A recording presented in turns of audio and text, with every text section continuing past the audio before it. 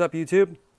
It's been a while since I've done my last update. I figured I'd uh, do a little video here for you, show you a couple of recent mods that I have done, or at least mods that I've done since my last video that you can see. And also it's time for me to do my uh, fuse number two pull to set the adaptives in the TCM. Um, so I figured I'd show you that as well too if you don't know how to do that or don't know what that is. Um, I'll show you about that here in a minute. Um, anyway, a couple of quick mods that I just want to mention here to you, and forgive me, I don't know how much of this you can see, but the car is a little dirty.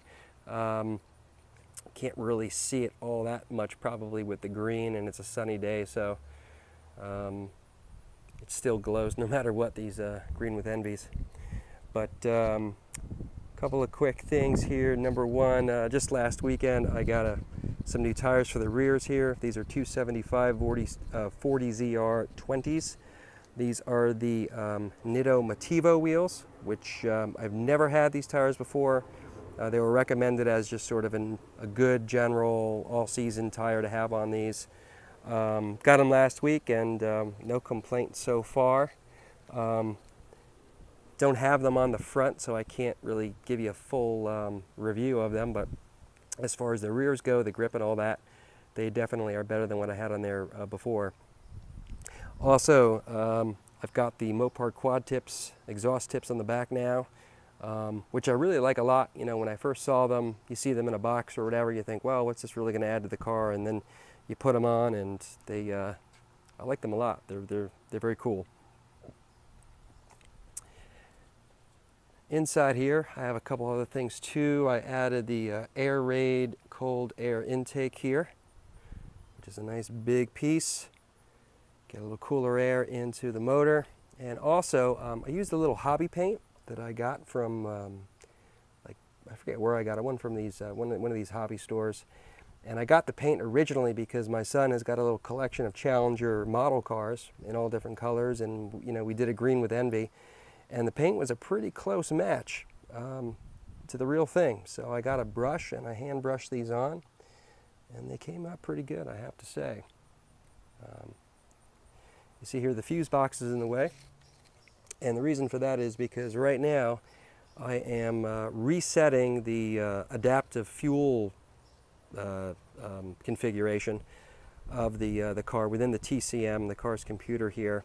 Um, if you don't know what that is, basically what it means is that your, uh, your car's got a computer in it that uh, analyzes how you drive and it adjusts the performance or the output of the motor to make it more efficient and to make the most use of fuel. Now, uh, performance and fuel economy generally don't go hand in hand. So when you have a car like this and you want to have a little fun with it, what it means is that uh, after a while, you know, assuming you're not racing all over town, um, your, uh, your car's computer is going to adjust to your driving style and try to make the most out of the fuel that it's got um, which means that uh, the car eventually gets a little sluggish. And a real easy way to reset that is to go into your fuse box here, find uh, fuse number two, which is right here. As you can see, I just pulled it. Um, you can find it right here on this little uh, map here on the inside of the uh, fuse box.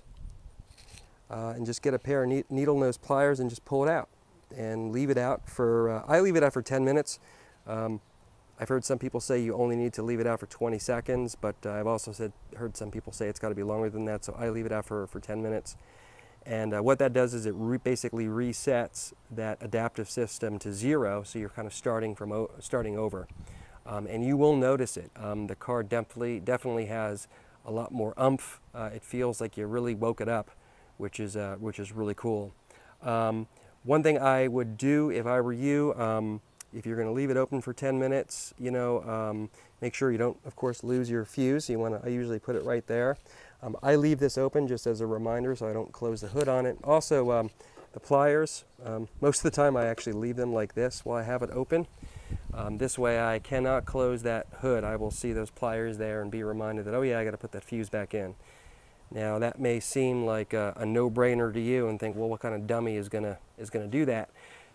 well, we all get busy in this world. You know, the phone rings, you got kids running around, what have you, and um, there have been people who have closed the hood and try to start their car and drive off with uh, the fuse out. And uh, I don't know exactly what happens, but it's a problem you don't want to have. Um, so just set yourself a little reminder here. That's what I usually do. And then you put it back in, and you will feel the uh, the difference. Um, I notice it especially. Um, I've been doing this little trick here for a while. Um, after you have modifications, I think you notice it even a little bit more, especially um, if you've got things, you know, cold air intake. Who knows what these things really add in terms of power? You know, they advertise, this one advertises anywhere from 15 to 20 horse, horsepower for the, the Challenger. Who knows what you actually get out of it? Um, certainly a little bit, maybe. Um, even combined with the tuner, I've got a Diablo Sport, I think it's the T1000 model, um, and I use the Diablo Sport um, canned tune for this. Um, and when you do that, and you do the TCM uh, adaptive reset here, and uh, you take the traction control off, let me tell you, it is a totally different car than what you drove off of the, the, uh, the showroom floor. It really, really wakens it up.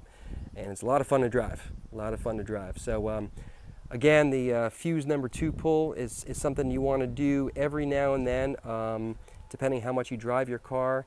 Um, I think they say that it, um, the adaptives, um, they study, it, it analyzes your, your driving for 50 start cycles or basically 25 half trips or, or, uh, 25 round trips.